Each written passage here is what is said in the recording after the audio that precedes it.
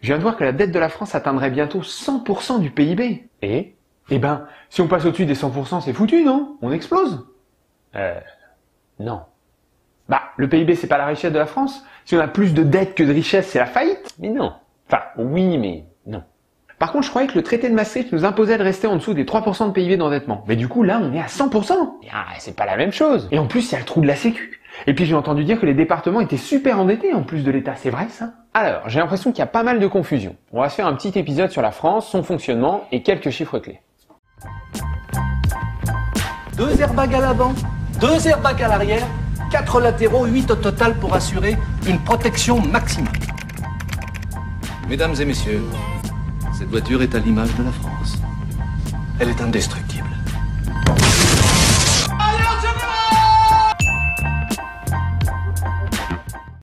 Commençons par un truc qu'on nous rabâche à longueur de JT, le PIB. Il s'agit de la richesse produite par les acteurs économiques en France sur une année. On aura l'occasion de se faire un épisode sur le sujet. Ici, ce qu'il faut comprendre, c'est que puisque le PIB est une production de richesse, alors il s'agit d'un flux et pas d'un stock. Par exemple, le salaire que tu touches tous les mois, c'est un flux. Il y a 1500 euros qui partent de l'entreprise qui t'emploie vers ton compte en banque.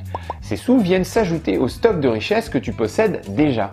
Tes économies, ta maison ou ton appart, ta voiture, ta télé, tes 24 paires de pompes, etc. Pour la France, c'est pareil. Le PIB est un flux de richesse qui s'ajoute à un stock déjà présent. Donc oui, la dette de la France s'élève à 2100 milliards d'euros, ce qui correspond à peu près à la valeur du PIB français, mais ça ne veut pas dire que la dette de la France est égale au stock de richesse de la France. C'est quoi le stock de richesse de la France?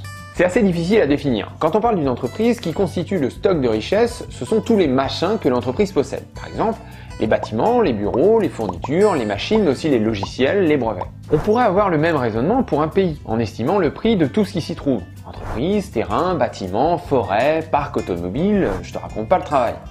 Ceci étant, on considère aussi que la marque d'une entreprise a de la valeur. Par exemple, Google, c'est un nom que tout le monde connaît, qui inspire confiance. Les clients Google sont satisfaits, les employés aussi, ça respire la joie de vivre, l'innovation, le parfum des pâquerettes, c'est génial.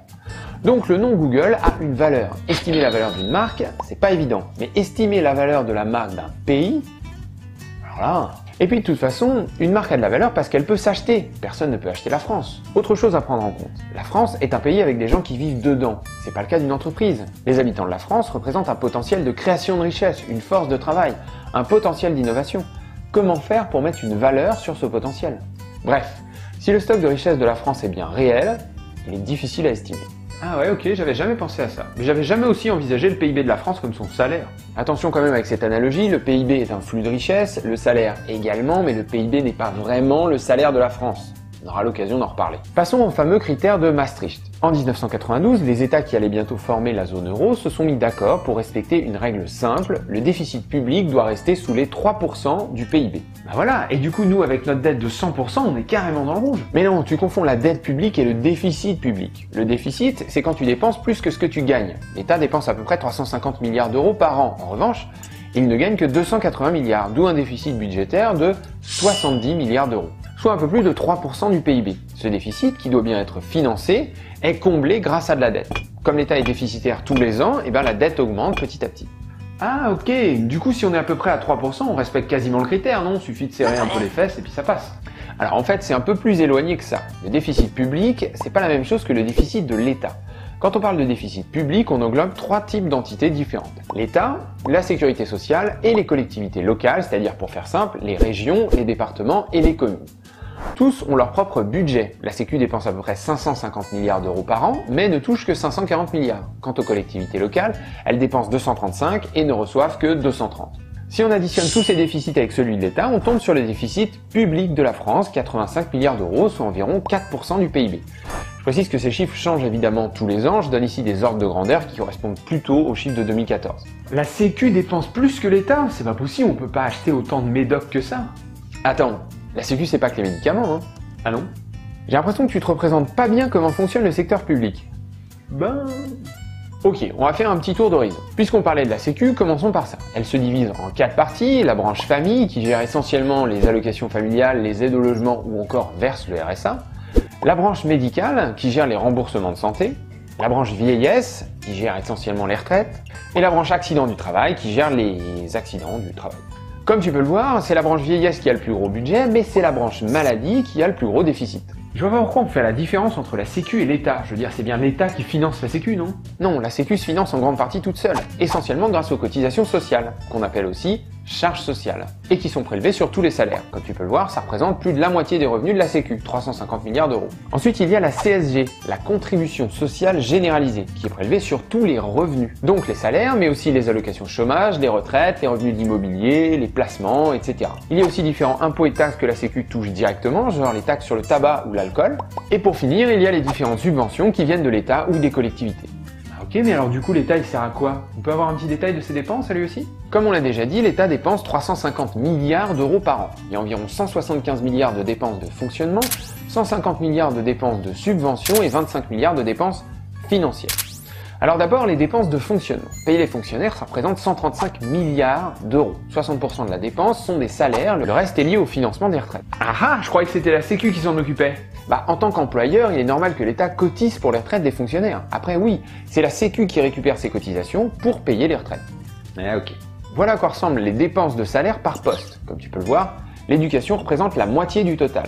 Le reste des dépenses de fonctionnement, donc 40 milliards, va principalement subventionner les établissements publics nationaux comme l'ENA, le CNRS, Météo France et tous les autres. Tous les autres genres euh, Bah, genre, il y en a plus de 1200, donc... euh, Ah ok, on oublie. Bon bah suivant. Ensuite, il y a les dépenses de transfert, qu'on pourrait aussi appeler dépenses de subvention. Alors, on commence par les transferts aux collectivités, qui servent principalement à la construction et à l'entretien des écoles, collèges et lycées. Viennent ensuite les transferts aux ménages, qui sont essentiellement des subventions pour l'aide au logement et aussi l'allocation pour les adultes handicapés. Puis il y a les transferts à la Sécu, ensuite les transferts aux entreprises, essentiellement pour le maintien et l'entretien du réseau ferré, mais aussi pour certains contrats aidés ou encore pour développer l'agriculture durable. Et pour finir, il y a tous les trucs qu'on n'a pas vraiment le temps de détailler. Enfin, on a les dépenses financières. Ici, c'est essentiellement le remboursement des intérêts de la dette qui mange le budget. Mais il y a aussi des recettes financières, essentiellement liées à des participations de l'État dans différentes entreprises. En gros, l'État touche des dividendes. Pourquoi tu parles de recettes alors que là on est en train de parler des dépenses? Parce que c'est plus logique d'en parler ici, et puis de toute façon, c'est présenté comme ça dans le compte de résultat. Le compte de quoi? C'est pas le sujet. Passons maintenant au revenu de l'État. Le plus gros revenu de l'État, c'est la TVA, avec 140 milliards d'euros. Pour rappel, la taxe sur la valeur ajoutée, c'est un truc que tu payes à chaque fois que tu achètes quelque chose. Ensuite vient l'impôt sur le revenu, 70 milliards d'euros, puis l'impôt sur les sociétés, 35 milliards, la taxe intérieure sur la consommation des produits énergétiques, TIPCE, qui rapporte 10 milliards, et ensuite les droits de succession, 10 milliards. Et puis il y a aussi tout le reste qu'on n'a pas le temps de détailler, 25 milliards. Et l'ISF, l'impôt sur les riches, il rapporte combien? Euh, c'est 6 milliards d'euros. Oh, déçu. L'État gagne aussi des sous grâce aux amendes, 4 milliards, et aux taxes sur les jeux de la Française des Jeux, 4 milliards. Ce qui nous donne un total de 298 milliards d'euros. Ah, tu t'es planté Hein? Tout à l'heure, t'as dit que l'État gagnait 280 milliards, et là tu tombes sur 298 milliards. Tu croyais que je t'écoutais pas ou quoi? Ah non, mais c'est parce qu'il manque la contribution au budget européen, 20 milliards d'euros. Donc ça fait 278 milliards, voilà, on arrondit 280. Ouais, tu t'en sors bien. Bon, maintenant il reste plus qu'à parler des collectivités. Allez, c'est parti. Voyons d'abord les dépenses sur une année. Les 27, maintenant 18 régions dépensent 30 milliards en gros, les 101 départements 75 milliards et les 35 880 communes 130 milliards. Mais ça dépense quoi une collectivité locale? Alors pour ne citer que les principaux postes de dépenses, la construction et l'entretien des écoles, des collèges, des lycées et des centres de loisirs, l'entretien des routes, le financement de la formation professionnelle, la gestion de l'eau et sa distribution, la gestion des transports scolaires, de la collecte et de l'élimination des déchets, le financement de la police municipale, des politiques d'urbanisme et aussi les aides sociales. Le plus gros poste de dépense des départements correspond au financement du RSA, de l'aide pour les personnes âgées, de certaines aides aux personnes handicapées ou encore des aides à l'enfance. Ah, J'ignorais ça. Voyons un peu ce qui se passe du côté des recettes. Les collectivités locales se financent essentiellement via les impôts locaux, taxes foncières pour les proprios, taxes d'habitation pour les locataires. Ça représente environ 100 milliards d'euros. Ensuite, il y a les subventions de l'État, 70 milliards, de la dette, 15 milliards, et différentes recettes d'investissement, genre vente de biens immobiliers ou de terrain, 20 milliards. Ah bah voilà, c'est bien ce que je disais au début, les collectivités ont de la dette. Oui, mais attention, les collectivités ne peuvent s'endetter que pour financer des investissements, pas pour financer un déficit structurel. Et c'est pas la même chose. Bah on regarde, mettons que ton budget de fonctionnement, manger, te loger, sortir un peu, transporter tes fesses jusqu'à ton boulot, est de 1500 euros par mois, mais que ton salaire n'est que de 1300 euros. Tu es en situation de déficit structurel. Pas question de t'endetter ici. Pourquoi pas? Bah comment tu ferais pour rembourser ton prêt? Ah, pas con. En revanche, si ton budget est couvert, c'est-à-dire que tu gagnes au moins autant que ce que tu dépenses, tu peux considérer une dépense d'investissement, par exemple l'achat d'un vélo. Il s'agit d'une dépense exceptionnelle qui va en plus te permettre d'économiser sur tes frais de transport, ce qui te permettra de rembourser ton prêt. Les collectivités, c'est pareil. Si le budget n'est pas déficitaire et qu'on a les moyens de rembourser, un peu de dette pour financer la nouvelle salle de sport, ok. En revanche, de la dette pour payer les fonctionnaires municipaux, non. Ok, je comprends. Donc au final, la dette de la France ne vient pas des collectivités. Bah si, un peu quand même, car certaines d'entre elles n'ont pas un budget équilibré. Mais attends, alors je pense à un autre truc. La dette vient de l'accumulation des déficits, c'est bien ça? Ouais. Du coup, s'il y a des déficits tous les ans, ça veut dire que l'État rembourse jamais sa dette. L'État français est le meilleur payeur de France. Il rembourse toujours tout ce qu'on lui prête et les investisseurs lui font parfaitement confiance. Par contre, il rembourse jamais avec ses propres sous. Il fait des nouveaux emprunts pour rembourser les anciens. Alors attends, je prends les thunes des uns pour les donner aux autres et j'en ai besoin de toujours plus chaque année. On a déjà fait un épisode là-dessus, c'est une pyramide de Ponzi ça, non?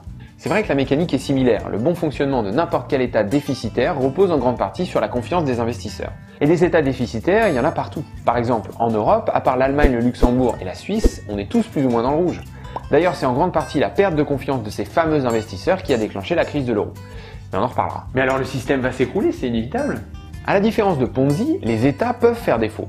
Ça s'est déjà vu des tas de fois. La question c'est plutôt quelles seraient les conséquences d'un défaut? Ça, on n'en sait rien et ça fait peur. Et les intérêts de la dette dans tout ça? J'ai entendu dire que sans eux, on s'en sortirait beaucoup mieux. Alors on l'a vu, les intérêts font partie du budget de la France. Ils sont responsables de presque la moitié du déficit. Donc a priori, même sans intérêt, la France serait toujours déficitaire et donc endettée. Sauf que voilà à quoi ressemble l'évolution de l'endettement public depuis 1979. On retombe bien sur nos 2100 milliards d'euros, les fameux 100% du PIB, ou pas loin. Maintenant, voilà à quoi ressemble la dette française si on n'avait jamais été obligé de payer des intérêts. Ah, toujours ces salauds d'investisseurs, ils nous sucent notre pognon. Et oui, mais qui sont-ils ces investisseurs? La dette française est majoritairement détenue par des assureurs et des fonds de pension européens. Ce sont donc les épargnants européens qui détiennent la dette. Euh, t'es allé vite là. En France, quand on a des sous à placer, on achète en général de l'assurance vie. Les assureurs récupèrent donc des sous qu'ils doivent ensuite investir. Or, le placement favori des assureurs, ce sont les obligations émises par l'État, la dette d'État. Dans les autres pays européens, on place plutôt ces sous dans les fonds de pension pour s'assurer une retraite au soleil. Et là aussi, le placement favori des fonds de pension, c'est la dette souveraine. Donc ceux qui réclament des intérêts aux États, ce sont essentiellement les classes moyennes. Faut pas s'imaginer que si un État européen faisait défaut, ce serait de riches investisseurs qui perdraient tout. Et voilà, tu m'embrouilles.